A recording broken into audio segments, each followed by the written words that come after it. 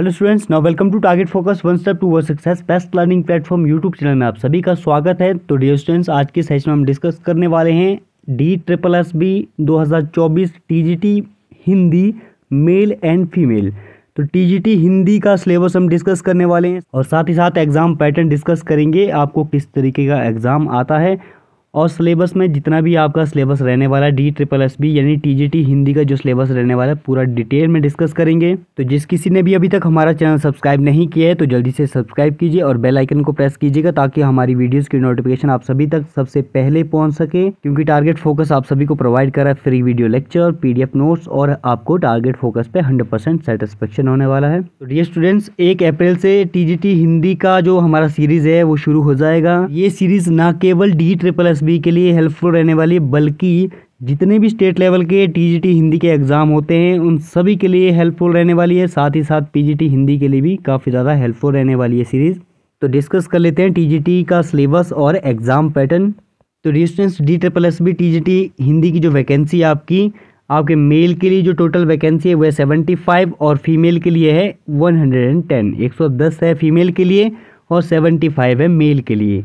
तो मेल के लिए जो अनरिजर्व है वो है फोर्टी सिक्स और ओबीसी के लिए सिक्स सीटें हैं और एससी के लिए फोर्टीन एसटी के लिए एट और ईडब्ल्यूएस के लिए एक सीट है ओनली और जो फीमेल के लिए अनरिजर्व सीटें हैं वो है नाइन्टी वन ओबीसी के लिए दो सीटें और एससी के लिए है फाइव और एसटी के लिए एट और ईडब्ल्यूएस के लिए वन तो डिस्कस कर लेते हैं टीजीटी हिंदी का जो सिलेबस है इसमें रहने वाला आपका गद्य साहित्य काव्य भाग और व्याकरण भाग तो गद्य साहित्य में आपका रहेगा हिंदी साहित्य का उद्भव, विकास एवं गद्य साहित्य की विधियाँ, उपन्यास, कहानियाँ, नाटक, एकांकी, यात्रा वृत्तांत, संस्मरण, रेखाचित्र, आत्मकथा, जीवनी पर आधारित प्रश्न। और जो काव्य भाग रहने वाला है, वो रहने वाला है हिंदी काव्य का विकास, आदिकालीन काव्य पर प्रश्न, भक्तिकालीन काव्य पर प्रश्न, यानी निर्गुण काव्य, सगुण काव्य और सूफी काव्य और रीतिकाल काव्य पर भी प्रश्न पूछे जाएँगे आपको और आधुनिक कालीन काव्य पर प्रश्न आएँगे और आपको आएँगे भारत हिंदू युग, द्विवेदी युग, छायावाद, प्रगतिवाद, प्रयोगवाद, नई कविता, समकालीन कविता। और जो हिंदी भाषा का विकास एवं व्यवहारिक व्याकरण आपको पूछी जाएगी, उसमें आपको पूछे जाएँगे हिंदी भाषा का विकास, इसकी उपभाषाएँ एवं बोलियाँ, देवनागरी लिपि एवं उसका विकास वर्ग विचार यानी उच्चारण, वर्तनी और संधि शब्द विचार और शब्द रचना यानी पर्यायवाची शब्द, विलोम शब्द, अनेकाति शब्द, श्रुतिसम, विनातक शब्द इत्यादि। और आपको विकारी शब्द, अविकारी शब्द भी पूछे जाएँगे और वाक्य रचना आपको पूछी जाएगी। रचना और अर्थ के आधार पर और आपको पद परिचय भी पूछा जाएगा।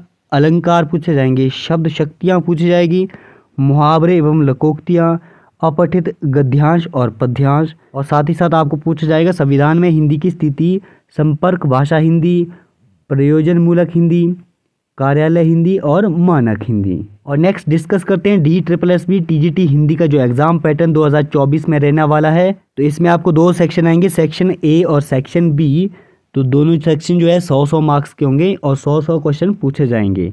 तो सेक्शन ए में आपको रहने वाला है जनरल अवेयरनेस के ट्वेंटी क्वेश्चन ट्वेंटी मार्क्स के होंगे। जनरल इंटेलिजेंस रीजनिंग एबिलिटी के भी ट्वेंटी क्वेश्चन होंगे और ट्वेंटी मार्क्स के होंगे। अरिथमेटिकल एंड न्यूमेरिकल एबिलिटी इसके भी ट्वेंटी क्वेश्चन आएँगे ट्वेंटी मार्क्स के रहने वाले हैं। हिंदी लैंग्वेज एंड कॉम्प्रिहेंसन इसके भी ट्वेंटी क्वेश्चन आएँगे ट्वेंटी मार्क्स के।